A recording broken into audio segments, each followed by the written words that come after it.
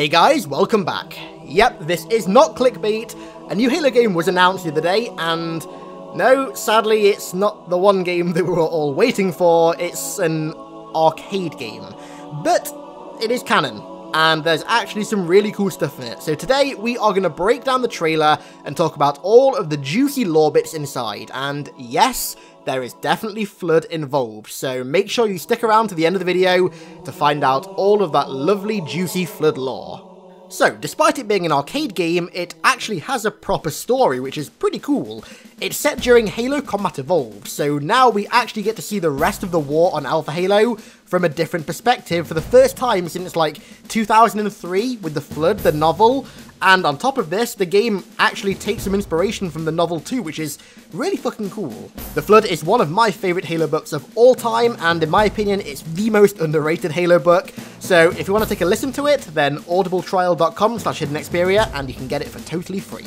During the game, you play as an elite group of four ODSTs who jump feet first out of the Pillar of Autumn, roughly around the same time that Chief jumps out the Pillar of Autumn, and down towards Installation 04.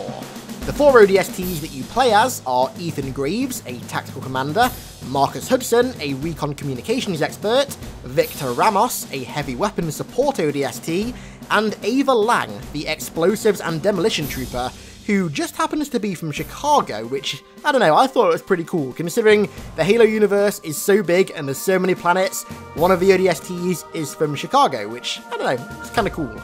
There's also another ODST uh, seen briefing the squad with an AI, who we're going to get to in a second at the start of the trailer. Now, chances are that ODST is Antonio Silva, the leader of all of the ODSTs on the Pillar of Autumn during the Battle of Alpha Halo, and also the ODST responsible for capturing and interrogating the partially flood-infected Private Jenkins, and also the ODST that destroyed the flood-infected Truth and Reconciliation. Seriously, you guys should really check out The Flood. It's a, uh, it's a really damn good book. And I mean, while we're at it, let's talk about this AI. So the AI that we see, the very posh, suave British AI, is called Wellesley, and he's another character from Halo the Flood as well. Chances are he was the other AI alongside Cortana who helped to manage the Pillar of Autumn, and he also helped the ODSTs set up Alpha Base on the Halo, which is something we're going to get to in a minute. He's a really cool AI, and honestly, We've not known what this guy looks like for like 15 years now? 15 years? And we finally do, which is pretty cool. Alrighty, what's actually in the trailer then? Well, it looks like the story actually starts before you drop from the Pillar of Autumn. There's a few shots of you fighting on board the ship, and you're fighting in those all too familiar hallways and cryotube-esque rooms. But there's also a section where it looks like you get to sort of operate the Pillar of Autumn's weapon system. Now, in Halo the Flood, Wellesley defends Alpha Base by controlling its anti-air defences, and we know that the Pillar of Autumn managed to take down four Covenant ships and heavily damage the Truth and Reconciliation on its way down to the ring, so maybe Wellesley managed to control the Autumn's defences and shoot down the ships and that we get to play that section? That'd be pretty cool. After the ODSTs crashed on the Halo ring, they established Alpha Base, which was a few kilometers away from where the Pillar of Autumn crashed, a base of operations built from supplies scavenged from the Autumn, built among a load of Forerunner structures and above a network of caverns and caves.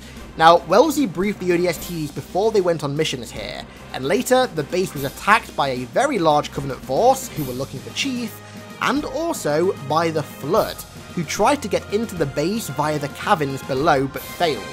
By the time they managed to actually get in, the UNSC had fled the base.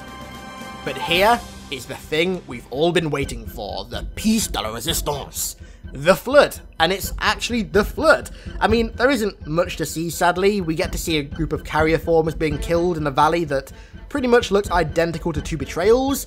We get to see some combat forms being gunned down on what looks like Forge World, which actually makes sense because Forge World was set on Alpha Halo.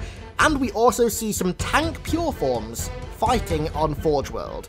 Now, I'd imagine that the lore-informed watching just recoiled at that because that doesn't make any fucking sense. There should not have been tank forms on Alpha Halo during Combat Evolved. That's because pure forms, like the tank, require a full Gravemind, like the one in Halo 2 and Halo 3, to even exist. They literally can't be created without one. The problem here is that the Flood outbreak on Alpha Halo only managed to make it to a Proto-Gravemind, the evolution phase which is just before the Gravemind, and therefore, these tanks shouldn't exist. However, this isn't a retcon, it's not a changing of existing lore again, this actually does make sense. So each Halo ring has a number of Flood research facilities, as we all know by now, which were where the Forerunners used to store and test samples of Flood. The map Cold Storage from Halo 3 was an example of these facilities, and what was on Cold Storage? A tank in a tank. It's highly likely that research facilities on Alpha Halo also had tank forms stored for research, and that when the Covenant let the Flood out by accident, they just happen to let tank forms out of storage too, therefore allowing them to exist without a Gravemind. Um, it, it does make sense. Ah, and breathe. There's been too many Flood retcons recently. This this almost triggered me, but I'm happy that it didn't. I'm very happy that this didn't trigger me. But yeah, we get to fight the Flood in an arcade game, which in my opinion is pretty fucking cool. Oh, also, doesn't this scene here look so much like that really popular Combat Evolved custom map where you have to defend Echo 419's crashed Pelican from like wave after wave of flood outside of the Pillar of Autumn? I swear to god it's inspired by it. I've got some footage on the screen right now of the map that I'm on about. It's got like four or five really popular videos on YouTube of it. It's a cool map, and honestly, if this is inspired by that custom map, then that's actually a pretty fucking cool idea. As well as some of the missions being set on Forge World, there's also one that looks like it's set on the map Ridgeline from Halo Reach, mostly because of that Forerunner bridge thing in the top right there. There's also a Falcon, which honestly we never knew was on the Pillar of Autumn, but apparently the Pillar of Autumn had Falcons stored on it. I mean, it came from Reach, kinda makes sense I guess. Also, aside from the Hunters and the Warthog, everything kind of looks like it's from the iconic classic art style. Now, for those who have joined the channel recently, the term iconic actually came from an art style thing, so this is very relevant. Very, very relevant. Watch your mouth, son. This stuff is your history. It should remind you grunts what we're fighting to protect. We've got Halo 2 Anniversary Elites, Marines, weapons, Scorpions, etc. And then the environments are pretty much all from Combat Evolved Anniversary, which does make sense because half the game's maps and missions are likely just ripped from CE and sort of like modified slightly for an arcade game. It's a shame though, because honestly, I'm not a huge fan of Combat Evolved Anniversary's art style. It just looks really cluttered and messy to me. I prefer OG Combat Evolved, but either way, it's small beans compared to the new art style versus the old art style. I'm not going to complain. I'm really not going to complain. I guess we can officially call this game iconic. Okay, so honestly, I think that's about it. This trailer was only like a minute long, so there's not too much to talk about. The machine is coming to Dave & Buster's this summer, which, as a Brit, I don't understand at all, but I'm sure most American people watching this know what Dave & Buster's is. I assume it's like an arcade thing or something. In regards to us Brits and everybody else across the Atlantic, will we get to play this game? By the looks of it, yes, at some point in the future. 343 said that they're working on getting it overseas after it releases in America, but I guess time will tell. I really want to try this out at the very least, just to see what it's like, but yeah, we'll have to see if it actually comes over.